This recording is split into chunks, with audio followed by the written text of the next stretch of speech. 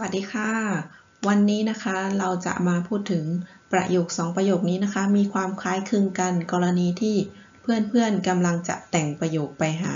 เพื่อนอีกคนหนึ่งนะคะ ว่าเราจะไปหาเพื่อนของเราได้อย่างไรนะคะ ใช้ในข้อสอบหรือว่าใช้ในชีวิตประจำวันก็ได้นะคะ 2 ประโยคนี้มีความคล้ายคลึงกันนะ we kommer ik zu dir ฉันสามารถไปหาเธอได้อย่างไรนะคะ ประโยคที่ 2 ก็จะเป็น we เหมือนกันนะคะ we so it da hinfahren we so it da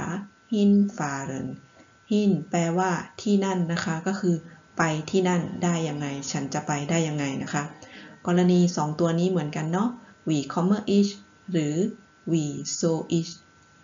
ใช้ได้ทั้ง 2 ตัวนะคะ โอเค Vielen Dank. Auf Wiedersehen. Tschüss.